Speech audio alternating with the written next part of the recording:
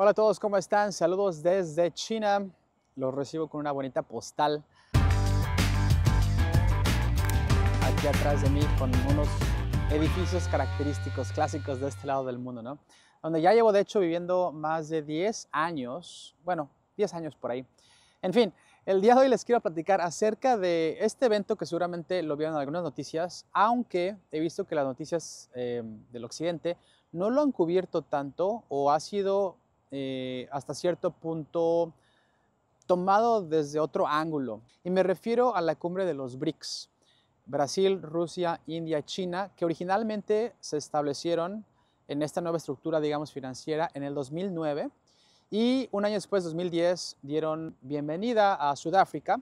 Entonces esta cumbre se ha llevado a cabo eh, después de varios años y la verdad ha sido muy eficiente en el hecho de que ha tratado de mm, llamar la atención de los países en vías de desarrollo o subdesarrollados o como quiera que el adjetivo que le quieran poner, pero son aquellos países que se han mantenido, digamos, sobre ciertos lineamientos de financiamiento que no son favorables para ellos.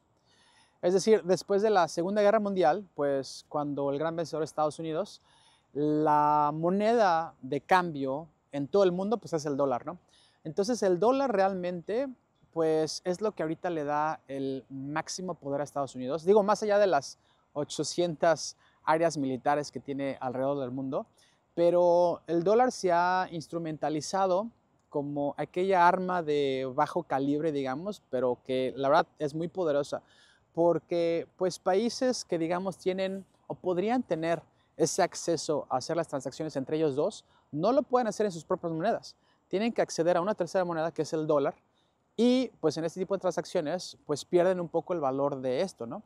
Y pues muchos países se poco a poco se empiezan a, voltear a ver a nuevas alternativas y digamos que los BRICS surgen como una nueva alternativa a estas instituciones que fueron, digamos, establecidas hace más de 75 años, ¿no?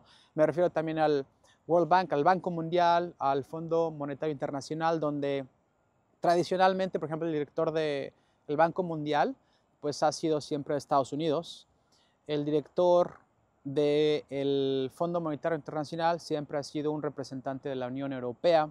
Es decir, está toda, digamos, la hegemonía mundial como que muy cargada del lado occidente, ¿no? Todavía. Entonces los BRICS quieren surgir como este contrapeso donde los esfuerzos, digamos, que se queden también de este lado de los países que van a constituir al, bloque de los BRICS. Ahora, estos nuevos BRICS, eh, pues ya son no solo estos cuatro que les digo, sino que ya se incorporó de manera oficial, están los Emiratos Árabes Unidos, o sea, eh, Abu Dhabi, la capital, Dubai, está Egipto, está Irán, está Etiopía y está ya casi como que en charlas para entrar, al parecer se va a entrar, Arabia Saudita. Hace un par de años, creo que el año pasado, China, por ejemplo, pudo tratar de poner un poco de aliados a la ya tradicional y no bien constituida relación entre Arabia Saudita e Irán, cosa que Estados Unidos pues la verdad no le, no le importaba tanto porque ellos quieren mantener, digamos, hasta cierta eh, presión entre países para que el beneficiado pues sean siempre eh, los países a veces que tienen beneficio, ¿no? A través del petróleo, etc. Pero entonces Arabia Saudita, al igual que por ejemplo Turquía, eh, pues ya están casi, casi tocando la puerta para entrar a los BRICS. De hecho, Turquía es el primer país de la, de la OTAN, de la NATO, que está tratando también de incorporarse de manera muy diplomática a los BRICS. Cuando tú no alineas ciertos pensamientos políticos con los del occidente, Estados Unidos, por ejemplo, pues lo que ha pasado es que tradicionalmente se hacen sanciones, ¿no? Entonces hemos visto sanciones que se han hecho a Cuba, por ejemplo, a Venezuela, a Irán, a Rusia, por diferentes sentidos, ¿no? Bueno, Rusia también que fue sacada del G8 cuando tomaron Crimea, ¿no? En fin, eh, cuando no sucumbían a los ideales, eh, pues prontamente se les hacían unas sanciones. Entonces, al sancionarse, pues los países se quedan sin un puente, ¿no? De conexión eh, financiera. Entonces, pues obviamente los lleva un poco a la miseria. Caso contrario que ha pasado ahorita con Rusia es que le pusieron las sanciones también a Putin por más de 300 mil millones de dólares recientemente por lo de Ucrania, 300 billions of dollars.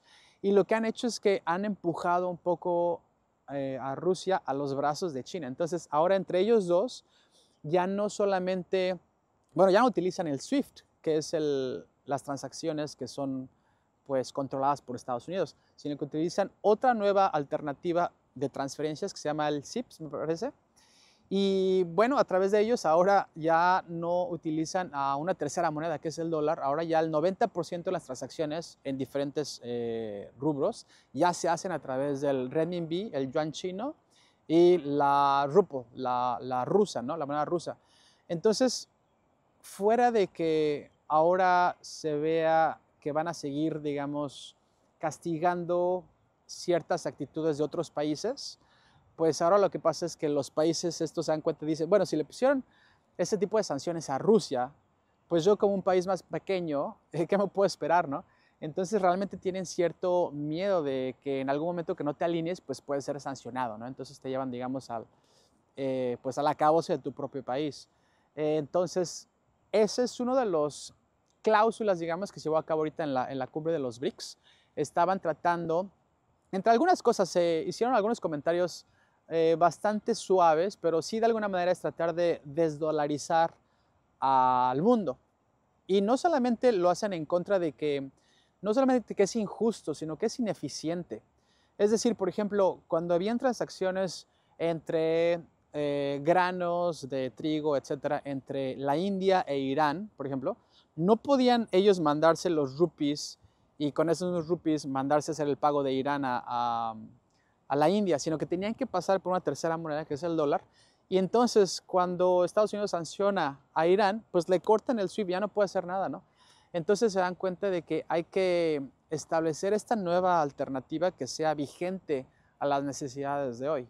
En países, por ejemplo, que ya no, no, tienen representación en la ONU, o digamos un, algún país que no tiene un asiento permanente como India, que es el país más, más poblado del mundo, y aún ciertos países de Europa, por ejemplo, siguen teniendo un asiento permanente, pero pues ya realmente no constituyen alguna, algún gran cambio a nivel financiero, económico, ¿no? Entonces es como que una actualización de lo que nuevos países quieren acceder a. Y también para eso tenemos ahorita el banco, el New Development Bank, eh, que está en Shanghai. No sé si han visto ahí en Shanghai, eh, de hecho, no muy lejos de aquí, eh, se estableció este banco que una de las cosas que pretende es dar préstamos, pero a los países en sus monedas locales. O sea, no quiere seguir prestando en dólares como lo hacía normalmente el IMF o el World Bank, sino que quiere hacer los préstamos en las monedas locales. Y esto pues, obviamente es mucho más fácil de pagar. The BRICS group of countries not only to strengthen government to government relations, but also to forge stronger ties. De lo contrario, es súper difícil pagar en dólares a un país que no tiene dólares y pues realmente después se suben los intereses o Estados Unidos decide hacer más impresión de dinero, entonces se vuelve casi imposible el hacer ese tipo de pagos sobre interés y sobre más dinero que de repente fluye porque se decidió imprimir más para la economía de Estados Unidos, etc. Entonces, pues realmente hay muchas condiciones que, a las que te tienes que ajustar sobre el sistema corriente y muchos países pues están como que tratando de ver si, simplemente alternativas, ¿no? Tem que ser mais eficaz e mais generoso do que o FMI. Ou seja, o banco, o banco ele existe para ajudar a salvar países y no para ayudar a fundar países. Porque es lo que el FMI hace muchas veces. No sé si escucharon recientemente en una de las entrevistas también que le hicieron a, Donald Trump, que qué opinaba sobre eh, el hecho de que muchos de los países pues ya quieran desdolarizar su intercambio comercial con otros países, ¿no? Entonces lo que él decía es que pues ciertamente los va a castigar. You're not going to leave the dollar with me. I'll say, you leave the dollar. You're not doing business with the United States because we're going to put a 100% tariff on your goods. Quiero que entendamos esto de una manera como que más simplista e individual. Haz de cuenta que nosotros tenemos una casa y enfrente de esta casa tenemos una tienda, ¿no? La tienda de la esquina, que es Estados Unidos con el dólar, ¿no? Entonces, por muchos años, pues yo estuve comprando en esa tiendita, tenía sentido, estaba la, la transacción de los dólares, entonces realmente era conveniente, ¿no? Eh, y eso es por muchos años, digamos, en los años pasados. Ahora tenemos una nueva tienda, una nueva este, estructura financiera que está más cerca de la casa y que tiene los precios más baratos, digamos. Entonces yo, que vivo en esta casa, digo, ¿sabes qué? Esa tienda ahora pues tiene sentido, es más barato o simplemente me queda de paso al trabajo, ¿no? Por cualquier motivo, como que ahora tiene más sentido que yo haga ciertas compras aquí y tal vez también sigo haciendo ciertas compras allá, ¿no? O sea, lo que el BRICS quiere no es que decir que no realmente a estos, sino que también tener una alternativa. Cosa que esta tiendita de la esquina de Estados Unidos, digamos, como que ahora lo que está diciendo es que, bueno, si tú vas y compras a esta tienda de aquí, lo que voy a hacer es que los voy a castigar a los dos. Entonces tú te quedas así como que, bueno, a ver, ¿tú qué en ese sentido, no? No solamente ya no, ya no le dejas, o sea, no solamente le dejas de comprar esa tienda, sino que ahora te pones a buscar más opciones, ¿no? Este, y eso es lo que ahorita están haciendo muchos los países, porque se dan cuenta de que si eso se lo hacen en países grandes, que se pueden esperar ellos de, de, su propia economía, ¿no? Entonces, es este tipo de mm, alternativas que muchos de los países pues están tratando de buscar. Muchas eh, noticias que vi en el occidente decían que se estaban juntando para tratar de poner la moneda del BRICS, eh, como que trataban de poner un poquito de radicalización o miedo.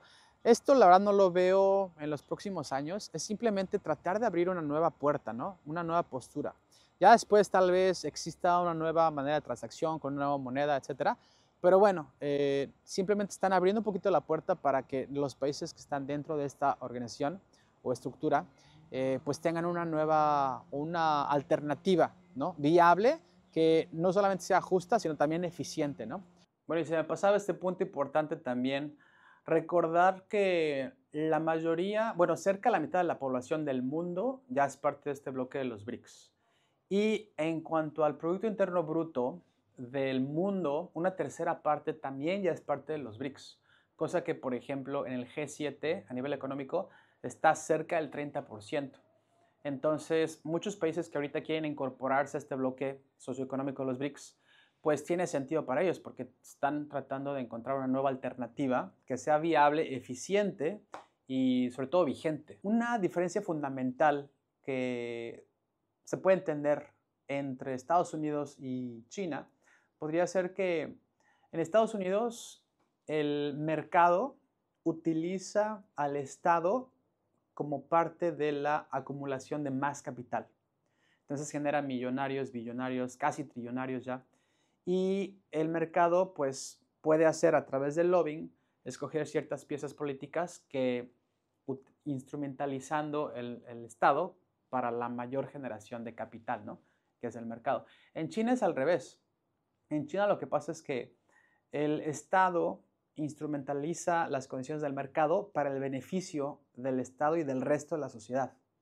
Entonces, obviamente también hay figuras eh, polémicas y figuras millonarias y billonarias en China, pero tal vez em, de alguna manera se puede decir que se pone un poco de mayor énfasis en el hecho de que el mercado llega hasta un nivel que el Estado eh, les pone límite, ¿no? Ese es un comentario general. Eh, pues ustedes díganme qué piensan acerca de, de, estos bloques, a ver cómo se van desarrollando.